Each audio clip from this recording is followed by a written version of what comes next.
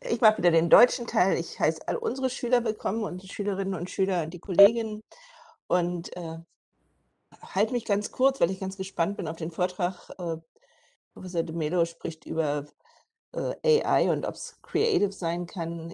Äh, ich habe letzte Woche die Möglichkeit, die Ehre vielleicht gehabt, mit der designierten Bildungsministerin in Deutschland zu sprechen. Bettina Stark-Watzinger ist der Name, den wir uns merken wollen. Ich habe zu ihr gesagt, ja, no pressure, but all eyes on you.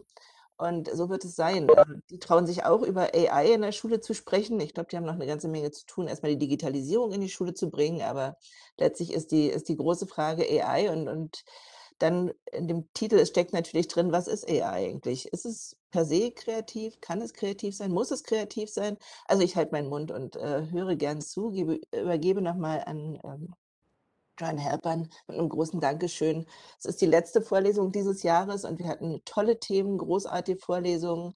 Wir haben mit dem ähm, HPI jetzt die Möglichkeit, euch Schülern am Ende ein Zertifikat auszustellen, dass ihr an all diesen Vorlesungen teilgenommen habt. Ich denke, das wird was Tolles sein, was ihr auch bei euren College- und, und Universitätsbewerbungen mit einbringen könnt.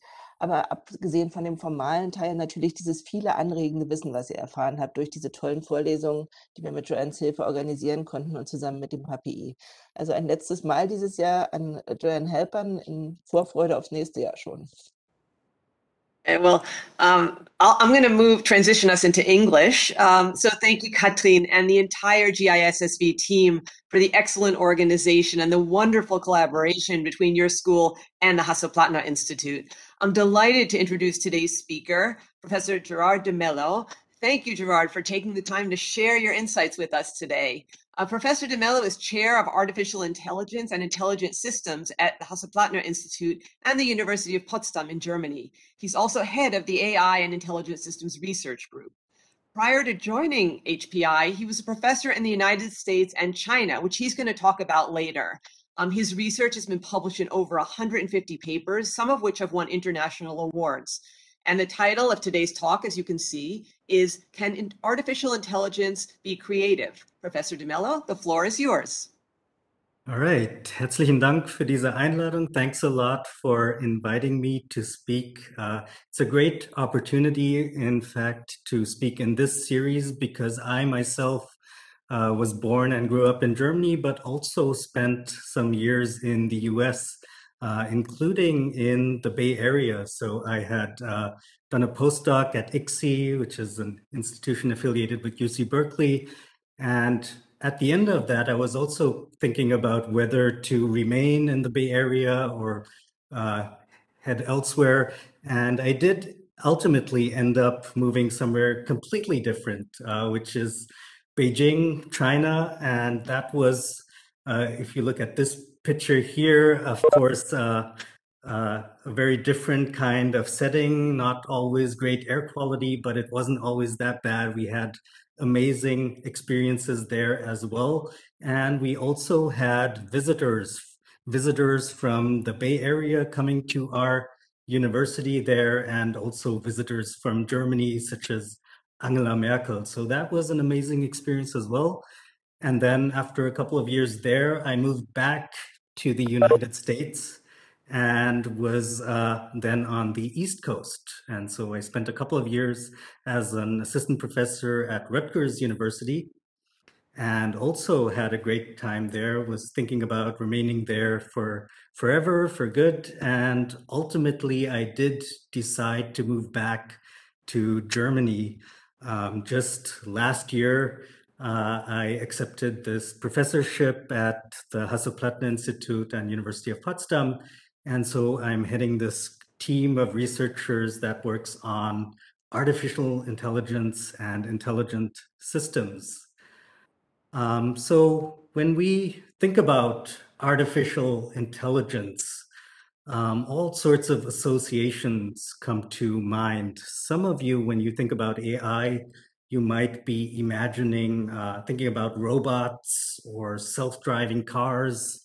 Um, those are some common things that people think about uh, when you mention the term AI.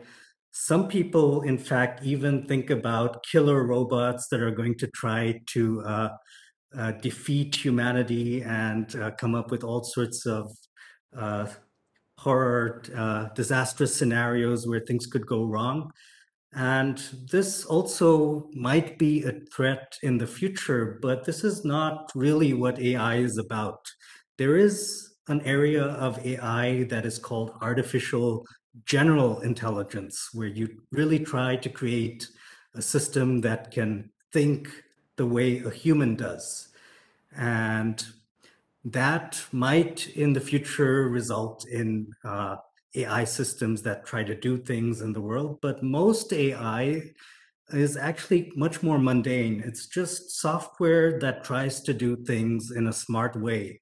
So very simple tasks like uh, when you use your phone and you type in something into Google, then Google is using some AI techniques to try to guess which results are going to be most interesting, most relevant to whatever you have asked Google about. This is something that requires AI because it's not as obvious uh, which pages are the best ones, what actually is mentioned on those web pages, how, how does it relate to other pages. So this is something that requires some new kinds of techniques to basically make sense of different uh, data out there on the web. And similar things happen when you're shopping online or you're just browsing something on YouTube. You always you always see those recommendations, which video to watch next, which other products you might be interested in. And so all of this also is the result of artificial intelligence. These are just simple techniques that we have developed that try to guess certain things in a smart way.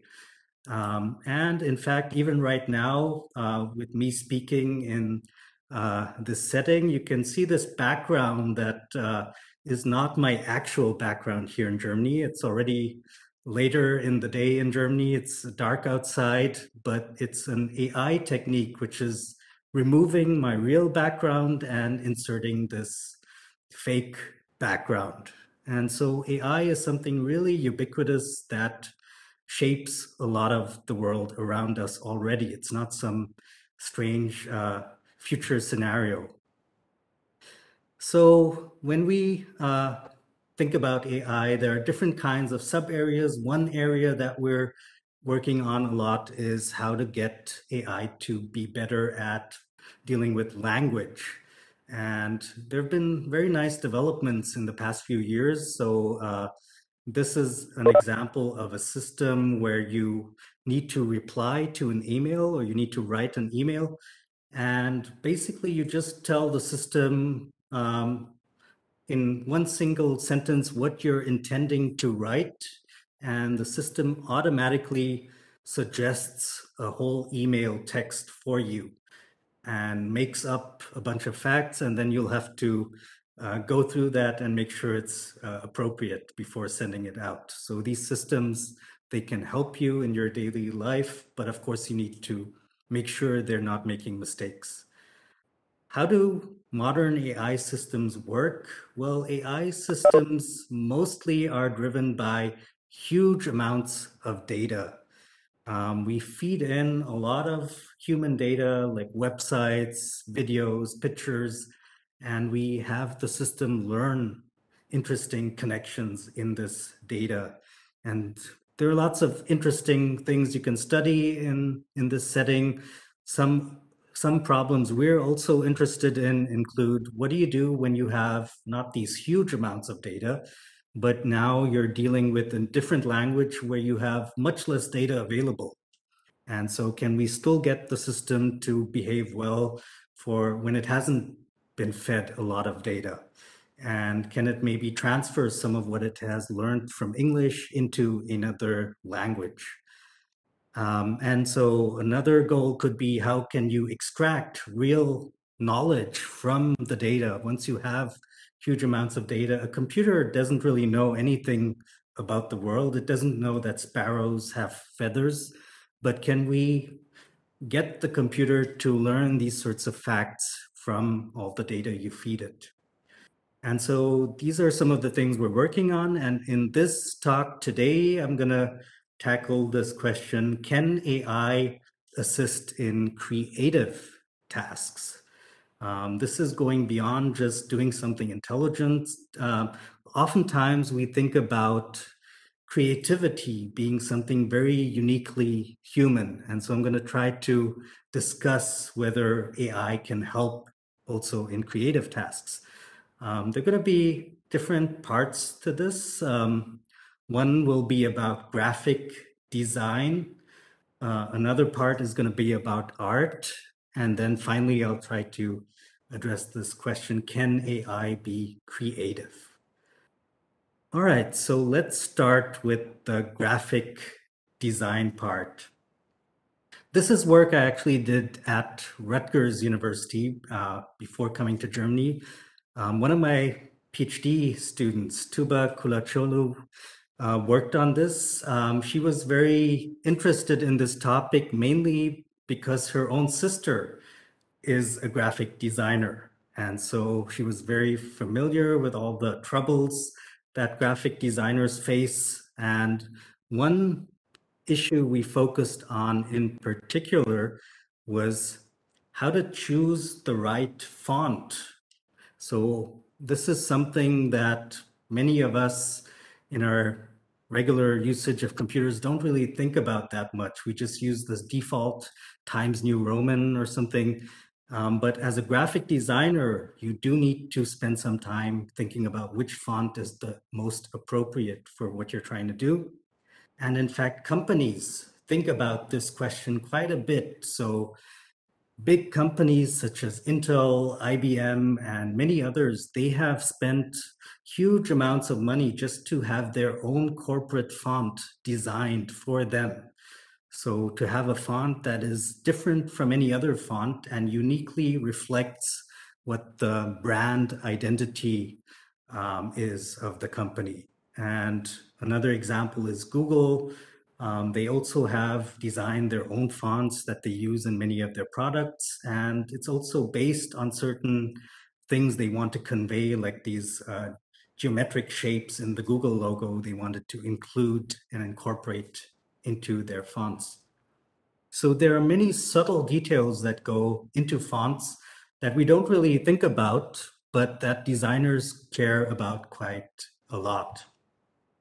In fact, there are studies um, that show that which font you use in product packaging is going to affect what people think about the product.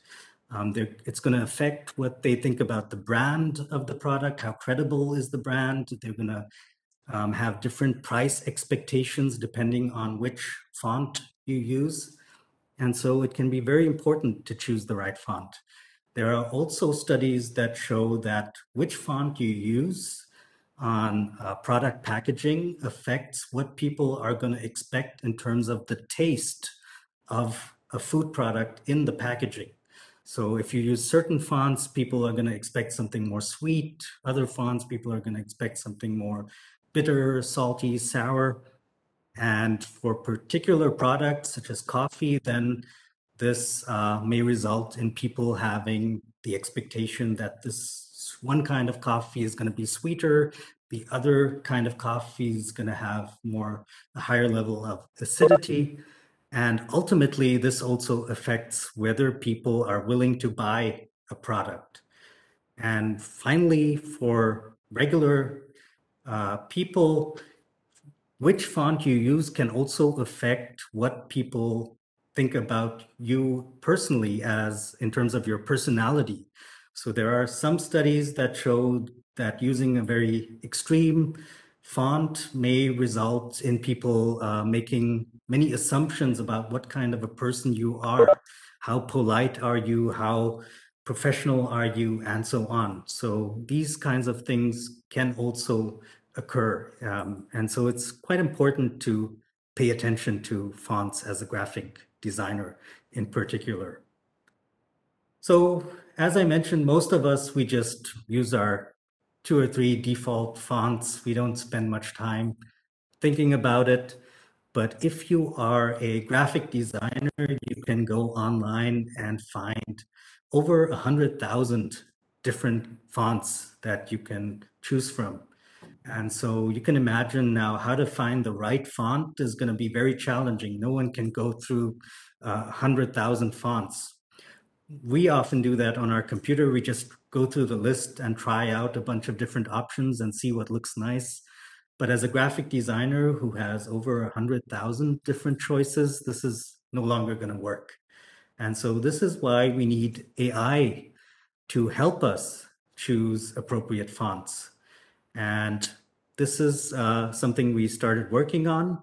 And I'll just briefly outline some of the things that we tried.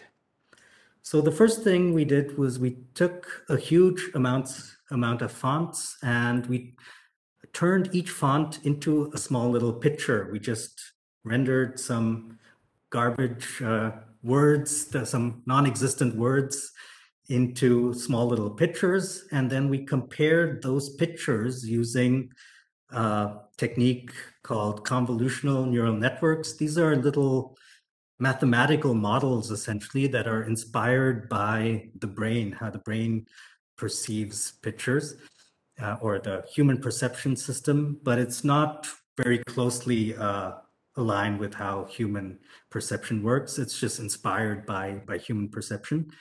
And so what we get with these little models is a visual representation space where we can now immediately see how similar different fonts are. When we compare different fonts, we'll find all the cursive ones in one corner, we'll find all the bold, thick ones in another corner. So this is just based on visual perception, which fonts look similar.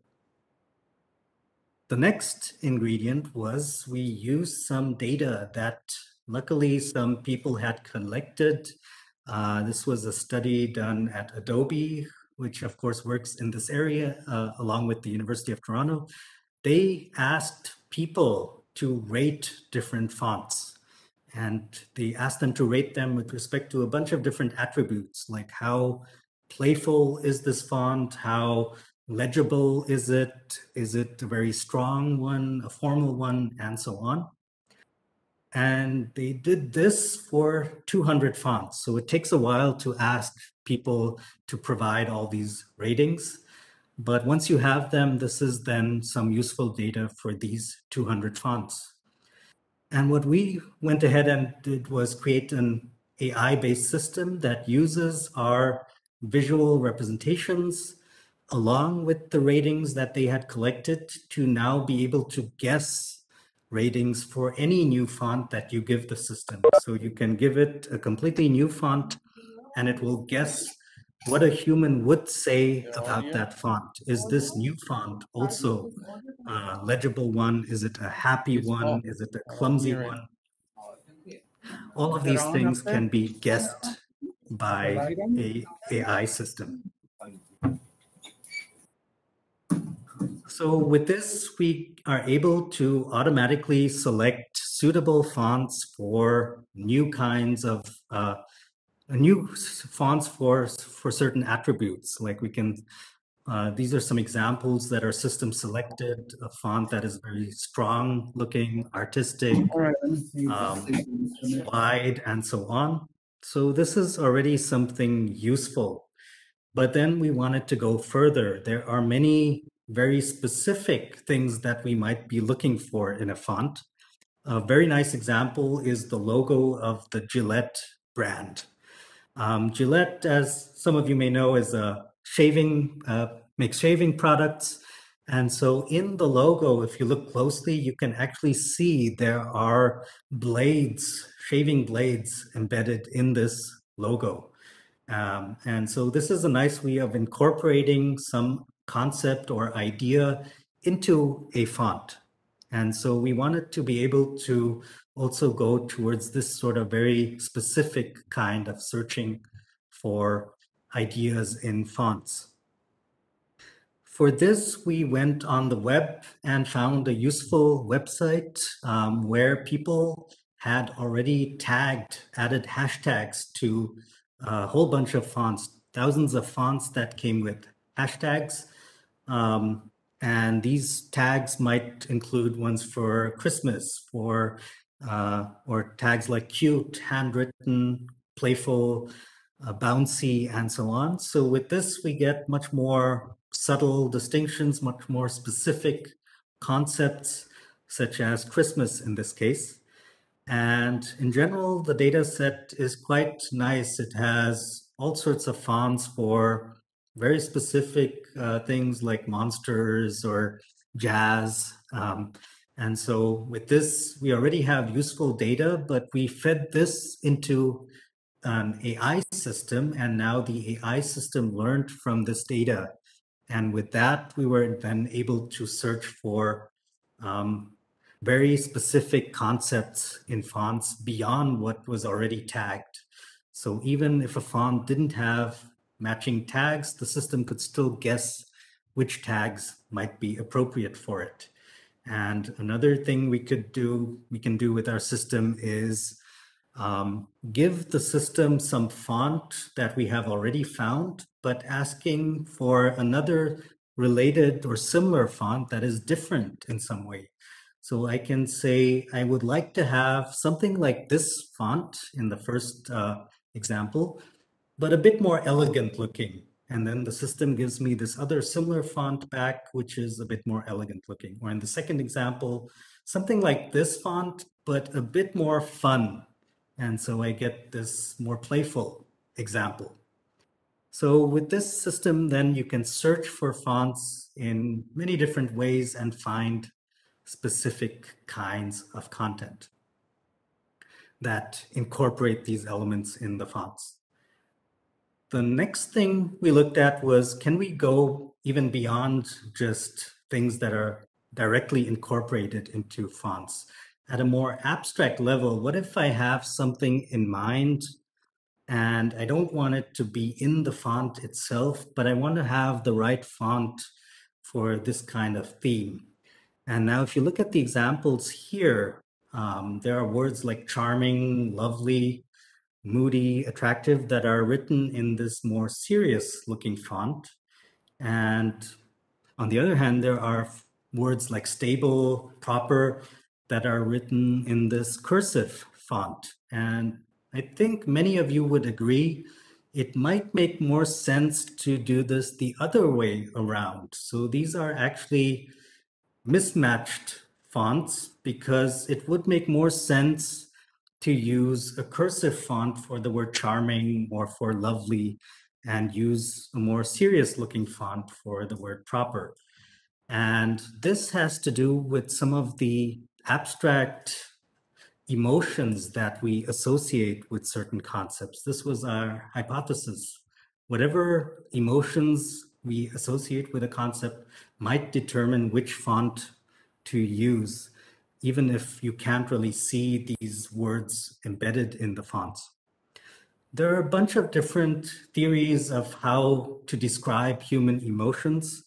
Some of them are based on perception, how what we see affects what we, uh, how we feel and um, or how we perceive someone else as feeling.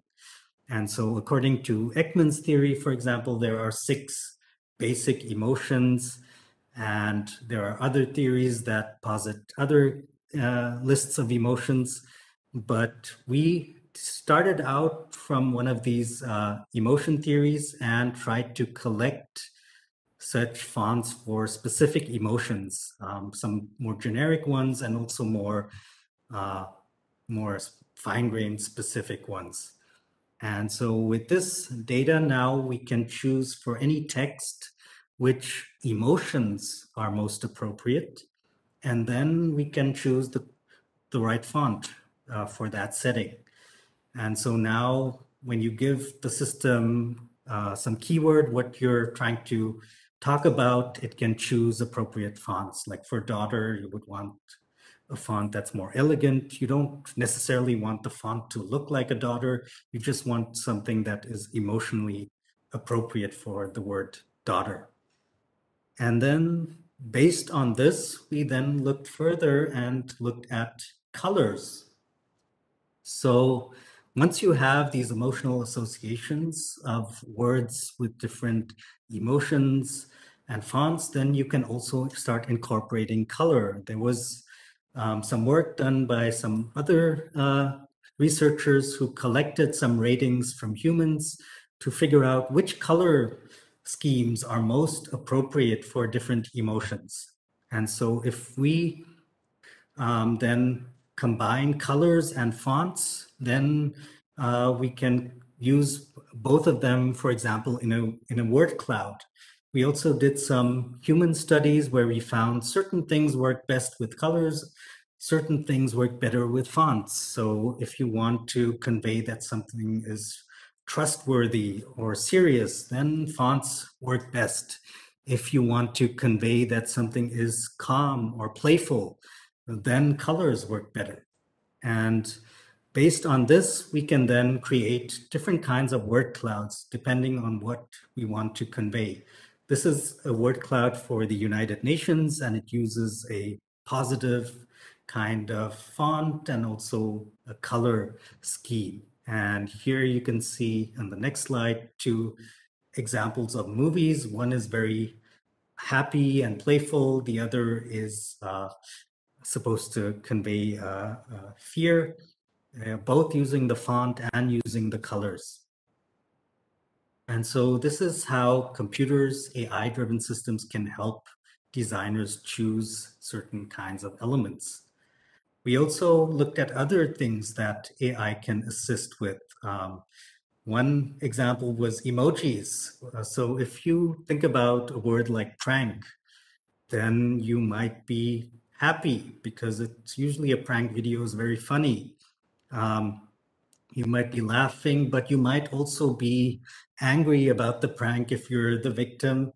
Um, and so we just looked at which emojis are people using online when they use certain words, which other emojis occur nearby. And so with this sort of data, we can then train an AI system to recommend emojis for you. While you're typing, it can suggest the right emoji. Another kind of aspect is, of course, pictures. So AI systems have gotten increasingly better at looking into pictures and trying to make sense of what is being shown in the picture. And this is also very relevant for graphic designers because nowadays when a lot of content combines text and pictures, and so what we wanted to do is um, look at uh, artifacts that are mixing text and pictures. And nowadays on the web, everything is combining text and pictures on social media as well.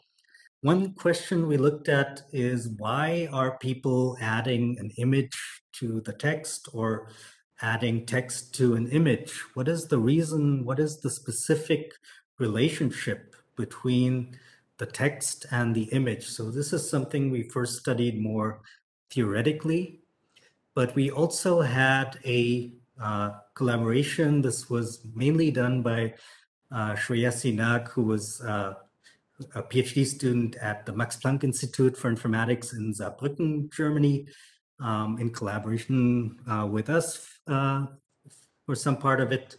Um, we created this automatic picture placement system where basically you let's imagine you're traveling and you take a whole bunch of pictures and afterwards you write a blog describing your trip. And now you would like to have a system that automatically helps you choose, right, the, some appropriate pictures to add to your text. And so this is what the system does. You just give it all of your pictures. It tries to figure out which pictures best fit what you have written in the text and also where in the text they fit best. When you're talking about your one stop, your one day that you had in San Francisco, then you can include a picture of San Francisco, of course, whereas um, some other parts of your text might be about some experience or, or party you attended. And so there, other pictures would be more appropriate.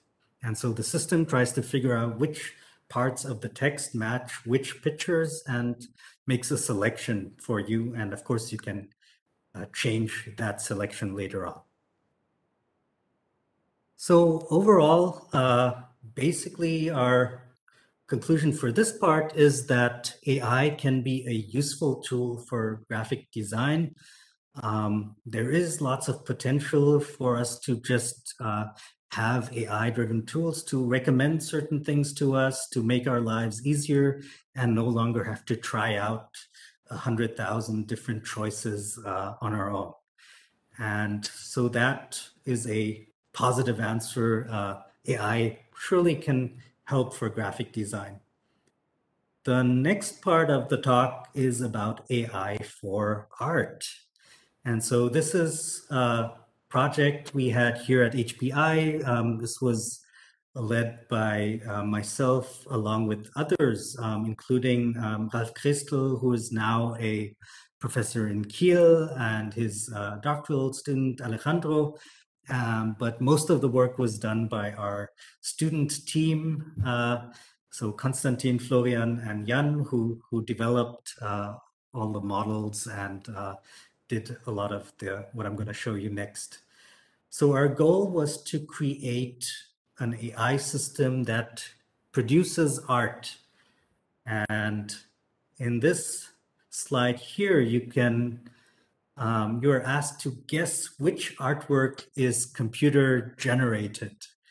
Um, you can just think about it for yourself. Uh, is it number one, two, or three?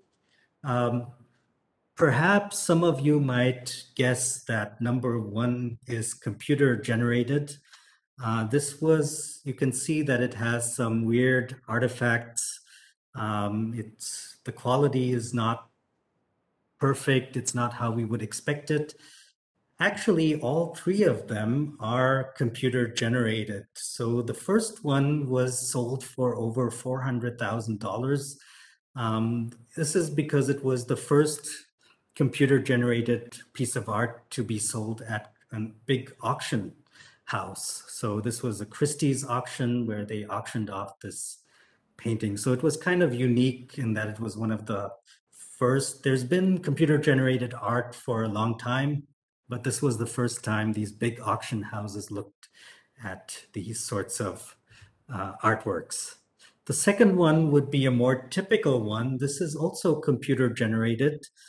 Um, these often sell for a couple of hundred uh, dollars. Nowadays, it's become very popular to sell art online using NFTs and other kinds of uh, new blockchain uh, techniques.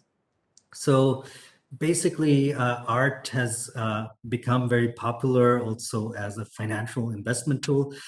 Uh, the last one is uh, an image, a picture generated by our own system. And we don't know how much it's worth. we're not really in this business of selling our art. Um, we're just doing it because we're interested in the techniques that are involved in producing such artworks. In particular, the technique that is the most popular right now is called a generative adversarial network. How do these systems work? Well, you have one neural network, artificial neural network, that tries to create an image based on some uh, input signals you give it. You might also be able to specify what kinds of conditions, like what kinds of attributes should the image have. And initially, what it's going to produce is just going to be noise, just random uh, pixels that don't really make a lot of sense. To make this sort of network work well, we need a second component. And this component is a sort of detective uh, it's called a discriminator because its job is to detect whether the image is a real one that was painted by a human or this sort of fake image that a generator might have produced. And so the generator is going to learn how to make this distinction and say, is this a real picture, real human like picture or not? And initially, it will also not be very good at this, but it soon learns to see the difference between the two. And now the generator needs to start keeping up and trying to produce better and better images um, with the goal of trying to fool the discriminator into thinking that what it created is actually a human artwork. And sometimes it might be able to fool the detective. It probably will not reach the level of Da Vinci, but at some point it will create something that looks reasonable to the detective. The detective is also not perfect. It's also just an AI system. And so with this sort of approach, um, we tried generating artworks, and this is what we got out of the system. Not very convincing, not very high quality, but as we gained experience and trained better networks, um, the system did produce some that looked kind of reasonable. And after a while, we got uh, pictures, artworks that seemed fine to us, that seemed reasonable. And so here I'm showing some examples, um, also very fine details, um, bigger scenes that have little many little objects in them, or uh, faces that have that do look quite realistic, um, that might have been painted by a human painter.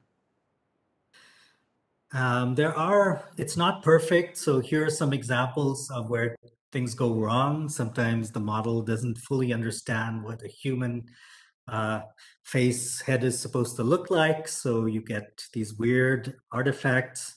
Sometimes you get completely strange looking shapes and contours.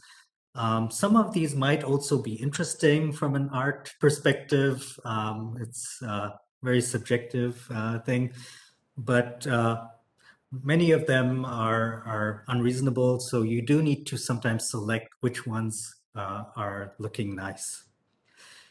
And most of our research then focused on how do we control these networks better? How do we get it to do something more specific, like uh, generate a landscape that has water in it. And in the first case, um, in a Van Gogh post-impressionist style, in the second case, in a Monet impressionist style. So these are two pictures that our system then was able to produce. And you can see they're similar, but have different styles. Um, and I would say they're not bad. They're quite uh, reasonable. Uh, and whether it works or not depends on how well the model has learned particular combinations of what we specify. Um, one other interesting result is when you control the emotions that the model generates. And so you can see it's not only changing the colors, but also changing the content in the image. Um, so in if you go towards more fearful, fear-evoking pictures, then you get um, weather that is a bit more gloomy. You get uh, trees that don't have their leaves anymore. Um, it also reflects certain human stereotypes. So if you go towards fear, you get a person that has a beard. Um, and so this sort of appearance is not necessarily more fearful, but this is what the model has picked up from some of the data we fed it. And so overall, we get uh, interesting results with this sort of approach. And it's something uh, that can be very promising also in the future. So can AI be creative? Yes or no? Um, and well, so my answer to this is uh, kind of mixed answer. So the first important thing is that AI is definitely different from traditional computer programming. In a traditional computer program, uh, the programmer needs to specify very in much detail every single step of what the program is going to do.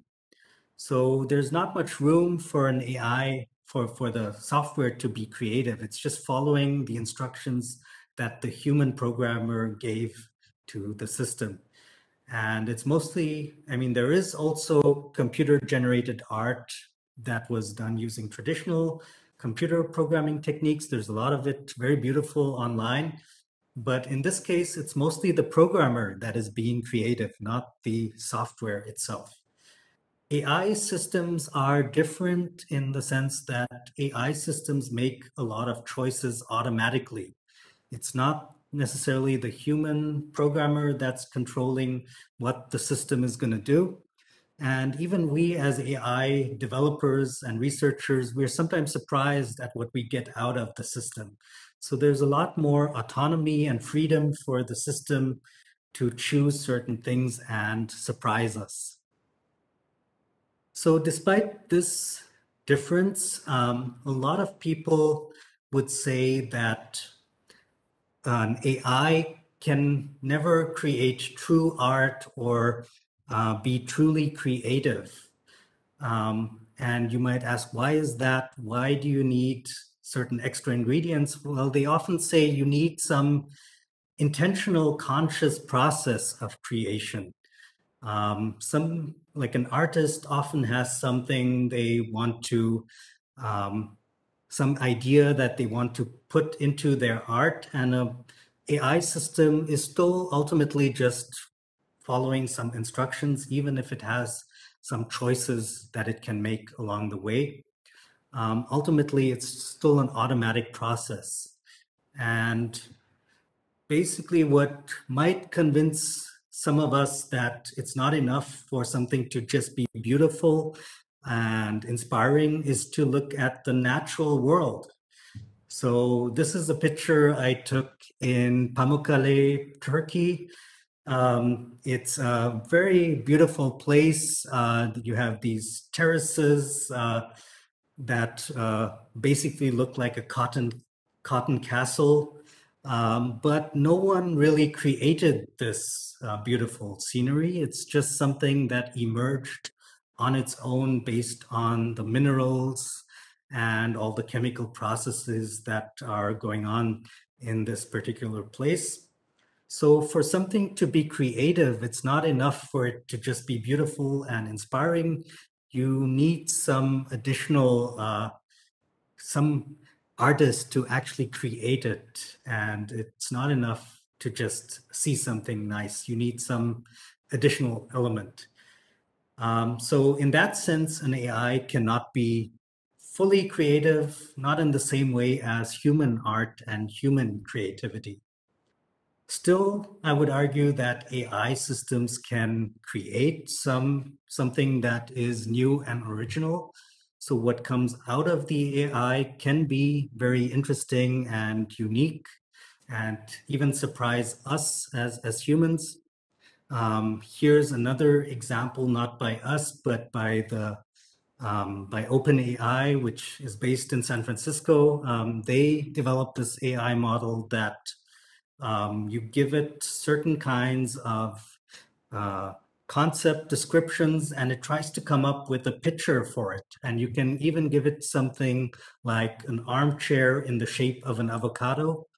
And although it has never seen these sorts of uh, armchairs before, it will try to make up something new that really is an armchair, a picture of an armchair that in, in the shape of an avocado.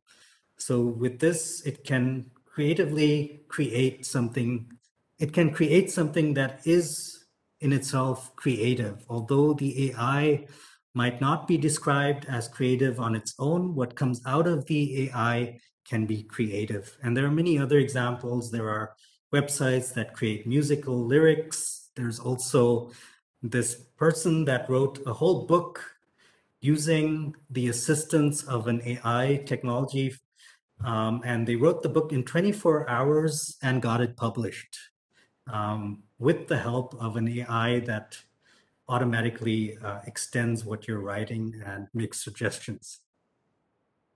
So overall, I would say uh, AI itself is not creative in the same way that humans are creative, but what comes out of an AI can still be very creative and inspiring. And so with that, I'm at the end of the talk and very happy to take questions. Thanks a lot for your attention. Yeah, uh, thank you very much. Thank you uh, for that interesting talk.